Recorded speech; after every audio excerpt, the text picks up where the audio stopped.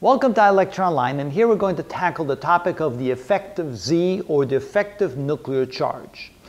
The reason why we can't always just assume that the nuclear charge relative to the electrons in outer orbits is equal to the charge that's actually there. In the case of lithium, there's three protons in the nucleus, so therefore the nuclear charge is 3 plus. And there's three electrons around the nucleus, two electrons in the innermost energy level, the third electron in the second energy level. But because of the shielding effect of the electrons in the innermost energy level, the outermost electron does not feel the attractive force from those three positive charges. The effective charge or the effective force that it feels is more as if the nuclear charge at the center is only 1.26 times the charge of a proton instead of three times the charge of a proton. So even though there's actually three protons there and the actual charge on the nucleus is plus three, the outer electron, if you were to assume that the inner electrons weren't there, feels an effective force of 1.26 positive charges. So the attractive force is far less than it would be if it felt the effect of the full three charges. And therefore, instead of being much closer to the nucleus because of the attractive force of three protons, it's much farther away from the nucleus because it feels an effective force due to the eff effective or, yeah, we could call it effective or apparent uh, attractive force of 1.26 charges. Now you may ask, well, how did I come up with that number? Well, that's of course a number that was experimentally derived through some measurements, and I'll show you in a way how you can, how you can actually calculate that number.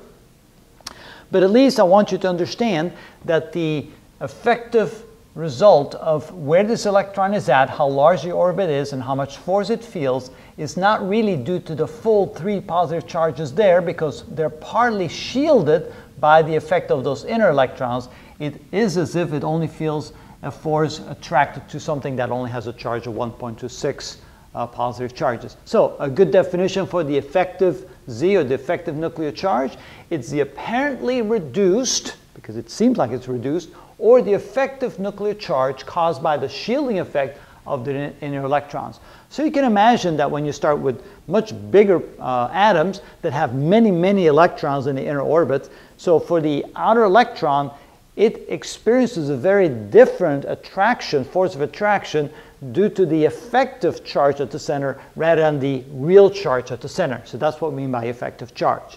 Now, starting with the hydrogen atom, the ionization energy can be easily calculated because there's simply a single proton at the center, and then we have a single electron going around in the first energy level, in the first s orbital. So removing that electron is very easily calculated. It's simply 1312 kilojoules per mole, or uh, about 13.6 electron volts per electron. Now, what is the ionization energy required if the electron resides in the second energy level rather than the first energy level? Or what would the ionization energy be for a helium ion, not a helium atom, but a helium ion that's already ionized where one electron is removed and you only have one electron left? How much energy does it take to remove that last electron from a helium atom? Well, it turns out we have a nice equation right here. The ionization energy to remove one single electron from an atom, provided it's the last electron there. All other electrons have been removed. For example, if we're dealing with a lithium atom, we have to remove two electrons and then we try to remove the last electron. So basically, this is the ionization energy to remove the last electron in an atom. And it's equal to the base ionization energy for a hydrogen atom, which is 1312 kilojoules per mole, times the nuclear charge squared divided by the energy level the electron resides in squared. So for in the case where we have a hydrogen atom, the electron resides in the first energy level, so n equals 1, and there's only one nuclear charge, so z equals 1, then you can see that it's 1312 kilojoules per mole times 1 squared divided by 1 squared, so it's simply equal to that.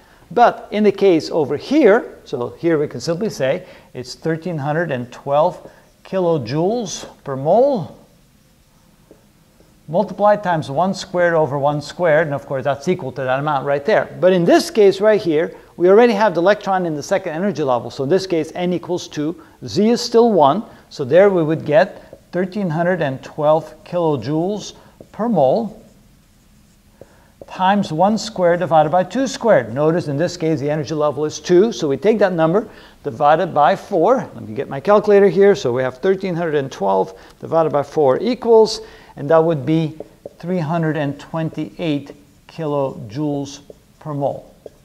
So notice, if you try to remove an electron from the second energy level in a hydrogen atom, it only takes 312 kilojoules per mole, which is only one quarter of what it would be if you take it out of the first energy level. What if we take a helium ion, one that's already been ionized? It only has one electron left. It's in the innermost energy level, but remember the nuclear charge is 2. So using the same equation, the energy uh, to remove that electron would be 1312 kilojoules per mole multiplied times z squared. In this case, z is 2. That would be 4. So 2 squared divided by 1 squared. So it's 4 times as much. So it's 5,248 kilojoules per mole. So notice that it's relatively easy to figure out what the ionization energy would be if there's only one electron left in an atom or in an ion, and then how much it would take to remove that last electron. But usually we're not dealing with that sort of thing. We're dealing with a case where there's multiple electrons still there, and we're trying to remove this, this electron from the atom. And notice there's a shielding effect, so we can still use the very same equation, but instead of using this equation, we have to use the effective Z, the effective nuclear charge, not the actual nuclear charge. So to figure out how much energy would take to remove this third electron from lithium with the other two still there, then what we would have to use, the equation now becomes I is equal to 1312. Oh, I said 1312, but I didn't write 1312. Let me try that again. So that would be 1312 kilojoules per mole times Z effective squared over N squared. Now, let's plug in the number that we know it is. It's 1.26. Didn't show yet how we arrived at. Arrived at that number. So in this case, it would be 1312 kilojoules per mole times Z effective, which is 1.26 squared divided by n squared. Now notice this electron is in the second energy level, so we have to write 2 squared. And let's see what we end up with. So this is equal to 1312 times 1.26 squared divided by 4 equals, and we get 521, that would be kilojoules per mole, and that is actually very close to the actual amount that we got. If you look at a previous video and look for the first ionization energy for lithium, you'll get a number very close to that. And the way they really try to calculate the effective Z is they can measure this in an experiment and then they work themselves backwards to figure out what the effective Z is. And that's how they come up with these numbers for the effective nuclear charge of the atoms. But at least now you can see why we need it. In most cases, we're never really dealing with pulling the last electron out of an atom or out of an ion. We're really dealing with pulling an electron out through either an experiment or to a chemical reaction, and the other electrons are still there shielding the electron we're removing from the nucleus, causing the effective Z, the effective nuclear charge, to be different. And if we use the effective nuclear charge, we can then calculate the ionization energy for those electrons that we remove. And hopefully that gives you a good idea what the effective Z is, or the effective nuclear charge.